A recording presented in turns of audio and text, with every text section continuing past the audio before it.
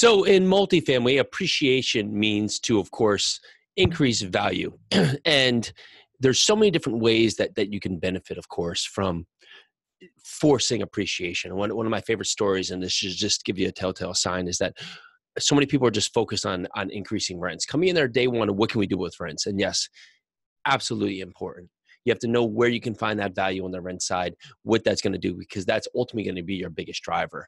But have you looked at all the other scenarios that are going to build back into the apartment building?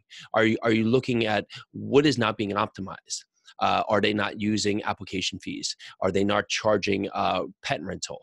Do they not have laundry income coming in? Are they not maximizing utilities? And which one of the favorite things that I always love to focus on is utilities. So, a story I, I, I tell frequently is that we had an apartment building where we knew the water bill was running rampant. So we went in there and we basically just took care of all the tenant maintenance things, stopped and really just started answering the calls because the prior ownership really just wasn't doing it. So tenants stopped calling. So they had a bunch of leaking toilets, a bunch of leaking sinks. So we got in there, took care of it. And we also changed out all the toilets for low E flush toilets and changed out all the faucets and shower heads for uh, just putting in, putting in aerators. Doing that cut down our water bill by 30%.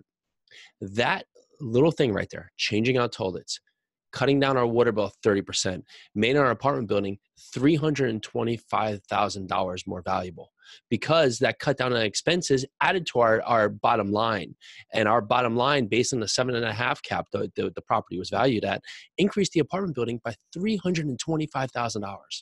So for all you flipping homes out there, have you ever changed out a toilet and got $325,000 for it? So don't always just focus on the rents.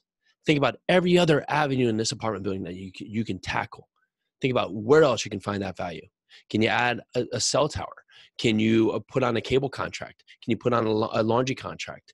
Can you make it a moving fee? What can you do to grow the value of your building from the inside out?